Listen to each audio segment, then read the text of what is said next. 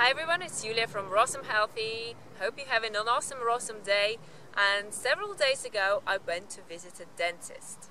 Now I have been on a high fruit and low fat 80 10 10 raw vegan diet for four years, exactly four years this summer. So I was a little bit nervous. I did, I did have dental problems with Paul in the beginning when we ignored dental hygiene, when we didn't pay enough attention to dental hygiene. We ended up literally with a mouthful of cavities, which we had to repair. And we ended up paying a lot of money for our dental bill. It was very unpleasant and we got a bit discouraged. But then we understood that we still need to follow this lifestyle However, we need to look and correct our dental routine.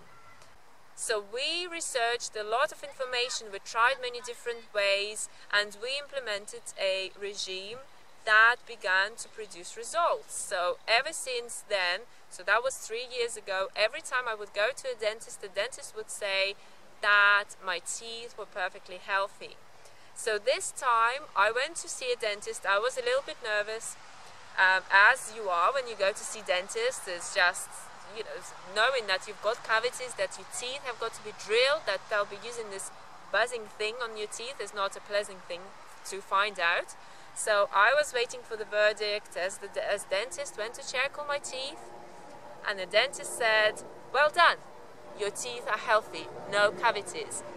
He then offered me to take an x-ray of my teeth. I haven't had it done for many years, so I agreed. He took an x-ray, he looked at my teeth and he said, well done, your teeth are healthy. So four years on a high fruit, raw vegan diet, eating abundance of fruit, I've got no problems with my teeth. And I must say, on my previous diets, I would always, every single time I went to visit a dentist, there'd always be some cavity or some repair work that the dentist would have to do, and I had terrible sensitivities as well. So having the right dental routine in place is paramount to your health, to your dental health. You need to be following what works for your dental health. So it's uh, it's not that difficult. It's simple. It does involve like rinsing your mouth after every meal and flossing and other things that you can do to ensure that your teeth stay healthy. However, being afraid of a high fruit and low fat raw vegan diet is not something that you need to do at all.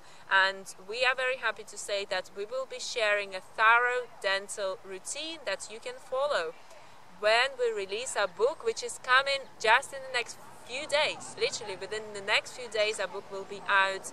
It will tell you how to look after your teeth. It will share a lot of information about how to succeed on a high fruit and low fat raw vegan diet.